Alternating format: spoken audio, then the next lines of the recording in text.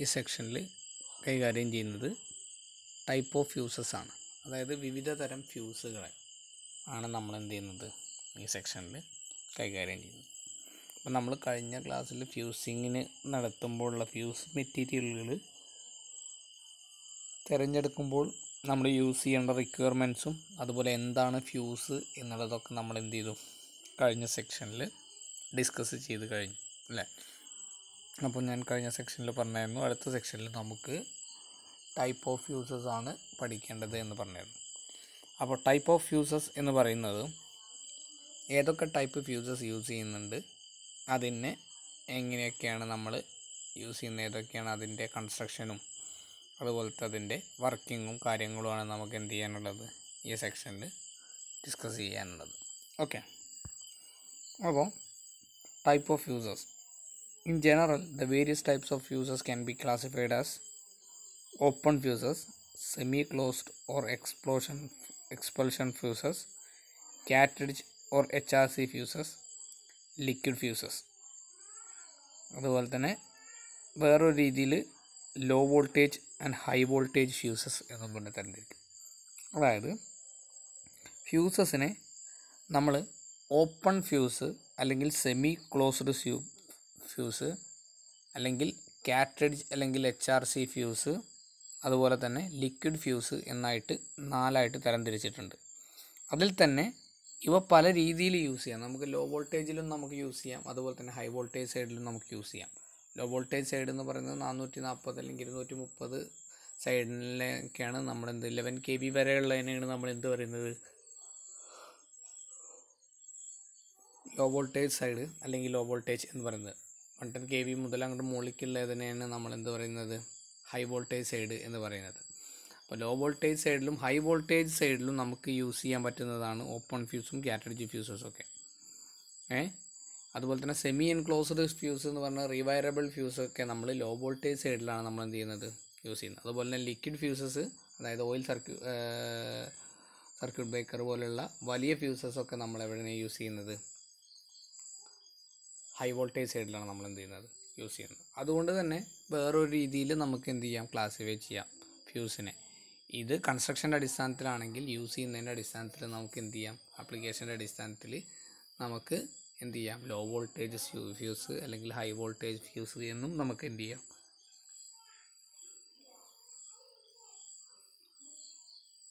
തരംതിരിക്കാം. ഓക്കെ അപ്പോൾ അതിൽ ഒന്നാമത്തെ എന്ന് നമ്മൾ പറഞ്ഞത് എച്ച് ആർ സി ഫ്യൂസാണ് പിന്നെ നമ്മൾ എച്ച് ജി ഫ്യൂസ് എന്നും പറയും. ഓക്കെ എച്ച് ജി ഫ്യൂസ് അഥവാ fuse and the horn gap fuse എന്ന് പറയും. The open type fuse consist of a plain fuse wire placed between two supports as shown in figure this type of fuse are use in pole mounted transformers അതായത് നമുക്കറിയാം നമ്മളെല്ലാവരും കാണുന്നതാണ് എന്ത്? Paul mounted transformer അല്ലെങ്കിൽ എന്താ substation എന്ന് പറയുന്നത്. Eleven K V substation എന്ന് പറയുന്നത് പോൾ മൗണ്ടർ ട്രാൻസ്ഫോമർ അല്ലെങ്കിൽ പിൻ മൗണ്ടർ ട്രാൻസ്ഫോമർ ഒക്കെ നമ്മൾ കാണുന്നതാണ്.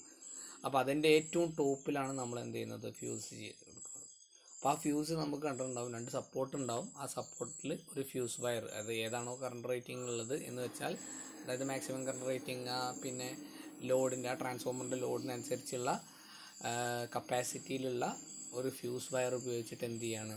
രണ്ട് സപ്പോർട്ടിനെയും കണ്ടിൽ യോജിപ്പിച്ച രീതിയിലാണ് നമ്മൾ എന്ത് ചെയ്തിട്ടുണ്ടാവുക? ഓപ്പൺ ടൈപ്പ് ഫ്യൂസ് ഉണ്ടാവുക. അപ്പോൾ അതിനെയാണ് നമ്മൾ എന്തെന്ന് പറയുന്നത്? ഹോൺ ഗ്യാപ്പ് ഫ്യൂസ് എന്ന് പറയുന്നത്. ഓപ്പൺ ടൈപ്പ് ആയിരിക്കും. അപ്പോൾ അതിൽ യൂസ് ചെയ്യുന്ന മെറ്റീരിയൽസ് എന്ന് പറയുന്നത് എന്താണ്?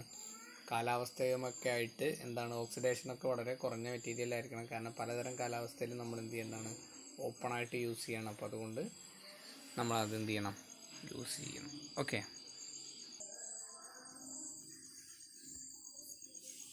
അതുപോലെ തന്നെ രണ്ടാമത്തത് റീവയറബിൾ ഫ്യൂസ് റീവയറബിൾ ഫ്യൂസ് എന്ന് പറഞ്ഞാൽ നമുക്കറിയാം. ഫിഗറിൽ കാണിച്ചിട്ടുണ്ട്. നമ്മളെ പോഴ്സലിൻ കൊണ്ടുണ്ടാക്കുന്ന ഫ്യൂസാണ് ഫ്യൂസ് ക്യാരിയറും ഉണ്ടാവും. അതുപോലെ തന്നെ എന്തുണ്ടാവും? ഒരു ഫെയിലും ഫീമെയിലും സോക്കറ്റുകളുണ്ടാവും അല്ലേ? മെയിലും ഫീമെയിലും സോക്കറ്റുകളുണ്ടാവും അപ്പോൾ അതിന്റെ ഇൻസുലേഷൻ എന്ന് പറയുന്നത് പോൾസലിൻ ആയിരിക്കും. അതിന് രണ്ട് കോറുണ്ടാവും അത് നമ്മൾ എന്ത് ചെയ്യാണ്? ഫ്യൂസ് വയർ കൊണ്ട് എന്ത് ചെയ്യാണ് ചെയ്യുന്നത്? യോജിപ്പിക്കുകയാണ് ചെയ്യുന്നത്. The most commonly used fuse in house wiring and small current circuit is reversible fuse.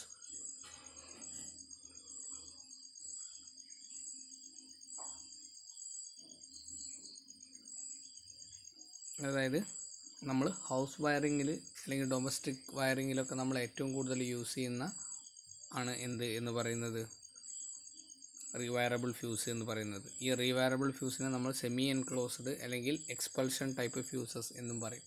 Okay അപ്പോൾ ഇത് കൂടുതലായിട്ടും നമ്മൾ യൂസ് ചെയ്യുന്നത് അല്ലെങ്കിൽ യൂസ് ചെയ്യുന്നത് ലോ വോൾട്ടേജ് സൈഡിലാണ് whenever the fuse wire blows off due to overload or short circuit the fuse carrier can be pulled out and the new wire can be placed the supply can be restored this look simple and really very simple only if the wire replaced by correct size അതായത് നമ്മുടെ ഒരു പ്രത്യേകത എന്താ വെച്ചാൽ നമ്മൾ ഈ fuse എന്ന് പറയുന്നത് ഓവർലോഡ് അല്ലെങ്കിൽ ഓവർ ഷോർട്ട് സർക്യൂട്ട് ആവുകയോ ഓവർലോഡ് വരികയോ ചെയ്ത് കഴിഞ്ഞാൽ ഫ്യൂസ് എന്താവും? ഫ്യൂസ് വയർ ബേൺ ചെയ്യുകയാണ് ചെയ്യുക. നമ്മൾ ഫിഗറിൽ കാണിച്ചിരിക്കുന്ന നമുക്ക് മനസ്സിലാവും രണ്ടാമത്തെ ഫിഗറിൽ എന്താണ് നമ്മൾ ഫ്യൂസ് വയർ കാണിച്ചിട്ടുണ്ട്. ഓക്കെ ഫ്യൂസ് വയർ നമ്മൾ കൊടുക്കുന്നത് എവിടെയായിരിക്കും? ഇതാണ് നമ്മൾ എന്താ ഫ്യൂസ് വയറായിട്ട് ഫ്യൂസ് വയറായിട്ട് കാണിക്കുന്നത് ഇതാണ്. അപ്പോൾ ഫ്യൂസ് വയറിനെ രണ്ട് ഈ രണ്ട് സ്റ്റെപ്പ് ടെർമിനലിന്റെ ഇടയിൽ നമ്മൾ എന്ത് ചെയ്യണം ഫ്യൂസ് വയർ വെച്ചിട്ടുണ്ടാവും. അപ്പോൾ ആ ഫ്യൂസ് വയർ ബേൺ ചെയ്ത് പോവുകയാണ് ചെയ്യുക അപ്പോൾ ഫ്യൂസ് വയർ ബേൺ ചെയ്ത് പോയി കഴിഞ്ഞാൽ നമുക്ക് എന്ത് ചെയ്യാം? ഈ മെയിൽ പാർട്ട് എന്ന് പറയുന്ന ഇത് നമുക്ക് എന്ത് ചെയ്തെടുക്കാം? ഫുൾ ഔട്ട് ചെയ്തെടുത്തിട്ട് നമുക്ക് വേറെന്ത് വേറൊരു വയർ നമുക്ക് എന്ത് ചെയ്യാം? റീപ്ലേസ് ചെയ്യാം. ആ റീപ്ലേസ് ചെയ്യുന്നതിന് സിമ്പിളാണ് അതുപോലെ തന്നെ പക്ഷേ എന്താണ് അതിന്റെ ഒരു മെയിൻ പ്രശ്നം എന്ന് പറയുന്നത് കറക്റ്റ് സൈസ് വയറല്ല എന്നുണ്ടെങ്കിൽ നെക്സ്റ്റ് ടൈമിൽ ഓവർ കറണ്ട് വരുമ്പോൾ അതെന്ത് ചെയ്യാൻ ബ്ലോ ചെയ്യാതിരിക്കാനുള്ള സാധ്യത ഉണ്ട്. അതാണ് സിമ്പിളാണ് പക്ഷേ ഇവിടെ കറക്റ്റ് സൈസിൽ അല്ല നമ്മൾ കറക്റ്റ് സൈസുള്ള വയർ വെച്ച് റീപ്ലേസ് ചെയ്യണത് വരെ എന്താ വരികയാണെങ്കിൽ മാത്രമേ എന്തുള്ളൂ സിമ്പിളുള്ളൂ ഓക്കെ ഇനി അതിന്റെ അഡ്വാന്റേജസും അതുപോലെ തന്നെ ഡിസഡ്വാന്റേജസും ആണ് നമുക്ക് നോക്കാനുള്ളത്. Replacement of fuse wire without any danger of lay parts cheap and cost of replacement in negligible mass simple in construction construction സിമ്പിളാണ് അതുപോലെ തന്നെ എന്താണ്? കോസ്റ്റ് ചീപ്പാണ് അതായത് അതുപോലെ തന്നെ വയർ എന്ത് ചെയ്യാം? നമുക്ക് റീപ്ലേസ് ചെയ്യാം. വളരെ ചീപ്പായിട്ട് തന്നെ നമുക്ക് എന്ത് ചെയ്യാം? റീപ്ലേസ് ചെയ്യാം എന്നുള്ളതാണ്. അതുപോലെ തന്നെ നമുക്ക് റീപ്ലേസ്മെന്റ് സിമ്പിളാണ് കാരണം എന്താ വിചാരിച്ചാൽ നമ്മളെന്താണ് ഫ്യൂസ് കാരിയർ ഊരി എടുത്തിട്ടാണ് നമ്മൾ എന്ത് ചെയ്യുന്നത്. റീപ്ലേസ് ചെയ്യുന്നത് അപ്പോൾ ഡേഞ്ചർ പാർട്ടുകൾ ലൈവിലൊന്നും നമുക്കൊന്നും ചെയ്യേണ്ടി വരുന്നില്ല. അപ്പോൾ അതൊക്കെ എന്താണ് അഡ്വാന്റേജസ് ആണ് എന്തിന്റെ റിവയറബിൾ ഫ്യൂസിന്റെ ഇനി ഡിസഡ്വാന്റേജസ് എന്ന് പറയുന്നത് നമ്മൾ അതിന്റെ വർക്ക് പറഞ്ഞപ്പോൾ തന്നെ പറഞ്ഞു. എന്താണ് റോങ് സൈസ് വയർ കൊണ്ട് നമ്മൾ എന്ത് ചെയ്യാണ് റീവയർ ചെയ്യുക. അതായത് നമ്മളിപ്പോൾ കറക്റ്റായിട്ടുള്ള ഫ്യൂസ് ഫൈവ് ആംബിയറിന്റെ ഫ്യൂസാണ് നമ്മൾ കെട്ടുന്നത്. വിചാരിച്ചാൽ ഫൈവ് ആംബിയറിന്റെ ഫ്യൂസ് വയറിന് പകരം നമ്മൾ ചിലപ്പോൾ ചെമ്പ് കമ്പികൾ കൊണ്ടൊക്കെ നമ്മൾ എന്ത് ചെയ്യാറുണ്ട്? കിട്ടാറുണ്ട്. അപ്പോൾ അത് സൈസ് കൂടിക്കഴിഞ്ഞാൽ നമ്മൾ എന്താണ് പ്രൊട്ടക്ഷൻ നടക്കില്ല. കാരണം ഹെവി കറണ്ട് വന്നു കഴിഞ്ഞാലും ഈ ഫ്യൂസ് വയർ ബേൺ ചെയ്യാതെ മെൽറ്റിംഗ് പോയിന്റ് കൂടിയ കോപ്പർ പോലുള്ള വയർ കൊണ്ട് നമ്മൾ എന്ത് ചെയ്യാണ്? ചെയ്യാണ് എന്നുണ്ടെങ്കിൽ എന്ത് സംഭവിക്കാനുള്ള സാധ്യത ഉണ്ട്? ഫ്യൂസ് ബേൺ ചെയ്യാതെ എന്താവാനുള്ള സർക്യൂട്ട് കംപ്ലൈന്റ് ആവാനുള്ള സാധ്യത ഉണ്ട്. അതുപോലെ തന്നെ low breaking capacity cannot use for high level high fault ലെവലിൽ യൂസ് ചെയ്യില്ല ലോ ഫോൾട്ട് ലെവലിൽ മാത്രം അല്ലെങ്കിൽ ലോ വോൾട്ടേജ് സൈഡിൽ മാത്രമേ നമ്മൾ എന്ത് ചെയ്യാറുള്ളൂ? യൂസ് ചെയ്യുള്ളൂ കാരണം ബ്രേക്കിംഗ് കപ്പാസിറ്റി കുറവായതുകൊണ്ട്. ഓക്സിഡേഷൻ ഉണ്ട്. അത് അതുപോലെ തന്നെ continuous heating up element for relatively short period of current rating fuses decreases അതായത് ഡിറ്റീരിയേഷൻ ഓക്സിഡേഷൻ ഉള്ളതുകൊണ്ട് ലോങ് ടൈം ചിലപ്പോൾ കത്തി നിൽക്കാനുള്ള സാധ്യത ഉണ്ട് അതുകൊണ്ട് എന്താണ്? സ്പീഡ് ഓഫ് ഓപ്പറേഷൻ എന്ന് പറയുന്നത് വളരെ കുറവായിരിക്കും. പ്രൊട്ടക്റ്റീവ് കപ്പാസിറ്റി എന്ന് പറയുന്നത് അൺസേർട്ടൈൻ ആണ്. It is affected by the ambient conditions കണ്ടീഷൻസിനനുസരിച്ച് എന്ത് ചെയ്യും? വ്യത്യാസം വരാനുള്ള സാധ്യത ഉണ്ട് അതുപോലെ തന്നെ accurate calibration of wire possible അല്ല. അതായത് നമുക്ക് കറക്റ്റായിട്ട് ഇത്ര വോൾട്ട് ഇത്ര കറണ്ട് പാസ് ചെയ്യുമ്പോൾ ഇതില്ല എന്ന് പറഞ്ഞിട്ട് കറക്റ്റായിട്ട് കാലിബ്രേറ്റ് ചെയ്തിട്ട് നമുക്ക് എന്ത് ചെയ്യാൻ പറ്റില്ല ഫ്യൂസ് വയർ ഉണ്ടാക്കാൻ സാധിക്കില്ല. അതൊരു പ്രശ്നമാണ് ഓക്കെ സ്പീഡ് കുറവാണ്. അതുപോലെ തന്നെ ഫയർ ഉണ്ടാവാനുള്ള സാധ്യതയൊക്കെ കൂടുതലാണ്. കാരണം എന്താ വെച്ചാൽ കണ്ടിന്യൂസ് ഹീറ്റിംഗ് നടന്നു കഴിഞ്ഞാൽ ചിലപ്പോൾ എന്താവും ബേൺ ചെയ്ത് പോവാതെ എന്നാൽ കത്തിപ്പിടിക്കാനുള്ള സാധ്യതകളൊക്കെ എന്താണ്? കൂടുതലാണ്. എന്തിന്? ഈ വയറിന് എന്ന് പറയുന്നത്. ഓക്കെ അതുപോലെ തന്നെ നെക്സ്റ്റ് എന്ന് പറയുന്നത് ഹൈ വോൾട്ടേജ് സൈഡിൽ നമ്മൾ യൂസ് ചെയ്യുന്നതാണ് കാറ്റഡ്ജി ഫ്യൂസസ് എന്ന് പറയും. അല്ലെങ്കിൽ എച്ച് ആർ സി ഫ്യൂസസ് എന്ന് പറയും. Performance of a fuse can be improved by enclosing fuse wire and sealed cartridge packed when filter material with prevent deterioration normal circumstance such fuses are called cartridge fuses are two types diazed fuse D type cartridge fuse അതുപോലെ link ടൈപ്പോ അല്ലെങ്കിൽ H R C fuse എന്ന് പറയുന്നത്. അതായത് നമ്മൾ എന്താണ് കാറ്റഡ്ജി type fuse എന്ന് പറഞ്ഞാൽ നമ്മൾ ഈ ഫ്യൂസ് വയർ കത്തുമ്പോൾ അതായത് ഡേഞ്ചർ ഒഴിവാക്കാൻ ഹൈ വോൾട്ടേജ് സൈഡിലാണ് നമ്മൾ എന്ത് ചെയ്യുന്നത് എച്ച് ആർ സി ഫ്യൂസുകളൊക്കെ കൂടുതലായിട്ടും യൂസ് ചെയ്യുന്നത്. അതിന്റെ കാരണം എന്താണെന്ന് വെച്ചാൽ നമ്മൾ ഈ ആർക്കിംഗ് അല്ലെങ്കിൽ ഫ്യൂസ് വയർ ഡി ഇതായി പോകുമ്പോൾ ഡിറ്റീരിയേഷൻ മൂലം എന്തുണ്ടാവാനുള്ള സാധ്യതയുണ്ട്? സ്പാർക്ക് അല്ലെങ്കിൽ ആർക്ക് ഉണ്ടാവാനുള്ള സാധ്യതയുണ്ട്. അപ്പോൾ ആ അതിനെ നമ്മൾ എന്ത് ചെയ്യണം? അത് പിന്നെ ഓപ്പൺ സർക്യൂട്ട് അല്ലെങ്കിൽ റിവയറബിൾ ഫ്യൂസ് പോലെയുള്ള സ്ഥലമൊക്കെ ആണെങ്കിൽ തൊട്ടടുത്തുള്ള സർക്യൂട്ടിനെയൊക്കെ അത് എന്ത് ചെയ്യാനുള്ള സാധ്യതയുണ്ട്? ബാധിക്കാനുള്ള സാധ്യതയുണ്ട്. അപ്പോൾ അതിനെ നമ്മളൊരു എൻക്ലോ എൻക്ലോസ്ഡ് കാറ്റഡിജിന്റെ ഉള്ളിലാക്കുകയും അതുപോലെ തന്നെ ഈ പിന്നെ ഇത് മൂലം ഡിറ്റീരിയേഷൻ മൂലം ഉണ്ടാവുന്ന സ്പാർക്കിന് അല്ലെങ്കിൽ ആർക്കിന് നമ്മൾ കെഞ്ച് ചെയ്ത് കളയാനുള്ള മീഡിയംസ് അതിന്റെ ഉള്ളിൽ ഉണ്ടാക്കുകയും ചെയ്താൽ ഓപ്പറേഷൻ ഓഫ് സ്പീഡും അതുപോലെ തന്നെ ഡേഞ്ചറും ഒക്കെ എന്ത് ചെയ്യാനുള്ള സ്പീഡ് കൂട്ടാനും ഡേഞ്ചർ കുറയ്ക്കാനും ഒക്കെ നമുക്ക് എന്ത് ചെയ്യും? സാധിക്കും. അങ്ങനത്തെ ഫ്യൂസിന് അങ്ങനെ കാറ്റഡിജിന്റെ ഉള്ളിൽ നമ്മൾ ഫ്യൂസ് വയർ വെച്ചിട്ട് ഉണ്ടാക്കുന്ന ഫ്യൂസിനാണ് നമ്മൾ എന്തെന്ന് പറയുന്നത്? കാറ്റഡിജി ഫ്യൂസസ് എന്ന് പറയുന്നത്. അതിൽ ഡി ടൈപ്പ് ഫ്യൂസും അതുപോലെ തന്നെ എച്ച് ആർ സി ഫ്യൂസും ഉണ്ട്. ഓക്കെ നമുക്കതിൽ എച്ച് സി ഫ്യൂസിനെ കുറിച്ച് എന്താണ് ഡീറ്റെയിൽ ആയിട്ട് പഠിക്കാനുണ്ട്. ഓക്കെ അപ്പോൾ നമുക്ക് എന്ത് ചെയ്യാം എച്ച് ആർ സി ഫ്യൂസിലേക്ക് പോവാം. ലിങ്ക് ടൈപ്പ് അല്ലെങ്കിൽ എച്ച് ആർ സി ഫ്യൂസ് എന്ന് പറഞ്ഞാൽ ഹൈ റാപ്ചറിങ് കപ്പാസിറ്റി ഫ്യൂസ് എന്നാണ് പറഞ്ഞത്. അത് നൈഫ് ബ്ലേഡ് ടൈപ്പും ഉണ്ട് ബോൾട്ടഡ് ടൈപ്പും ഉണ്ട്. ഓക്കെ അപ്പോൾ അതിൽ നമുക്ക് അതിന്റെ ബേസിക് വർക്കിംഗ് നമുക്ക് എന്ത് ചെയ്യാം ഒന്ന് നോക്കാം. H R C fuse consist of a fuse base and fuse link the fuse link is basically same as that of D type cartridge fuse it consist of a ceramic body having metal caps. Without stand very high pressure അതായത് D type ഫ്യൂസിന്റെ പോലെ തന്നെയാണ് H R C fuse എന്ന് പറയുന്നത്. അതിന്റെ construction എന്ന് പറയുന്നത് എന്താണ്? ഒരു ഡി ടൈപ്പ് എന്താ? സെറാമിക് ബോഡി അതായത് ഒരു insulating body ceramic body glass tube ഉണ്ടാവും. അതിന്റെ രണ്ടറ്റത്തും എന്തുണ്ടാവും? മെറ്റൽ ക്യാപ്സ് ഉണ്ടാവും. ആ മെറ്റൽ ക്യാപ്സ് രണ്ടും തമ്മിലാണ് നമ്മൾ എന്ത് ചെയ്യുന്നത്? ഫ്യൂസ് വയർ ഘടിപ്പിക്കുന്നത്. വിത്ത് സ്റ്റാൻഡ് വെരി ഹൈ പ്രഷർ വലിയ പ്രഷറൊക്കെ വിത്ത് സ്റ്റാൻഡ് ചെയ്യാൻ പറ്റുന്ന ഒരു ഗ്ലാസ് ട്യൂബ് ആയിരിക്കും.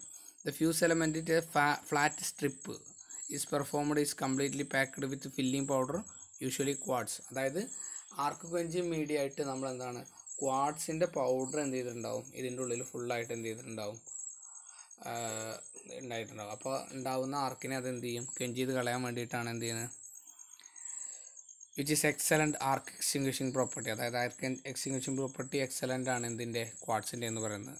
The strip is made flat provide better cooling അതായത് ഫ്ലാറ്റ് എന്താ സ്ട്രിപ്പ് ആയതുകൊണ്ട് തന്നെ എന്താണ് ബെറ്റർ കൂളിംഗ് ആയിരിക്കും സാധാരണ വയറിനേക്കാൾ അപേക്ഷിച്ച്. ഓക്കെ അപ്പോൾ ഇതാണ് എന്തെന്ന് പറയുന്നത്?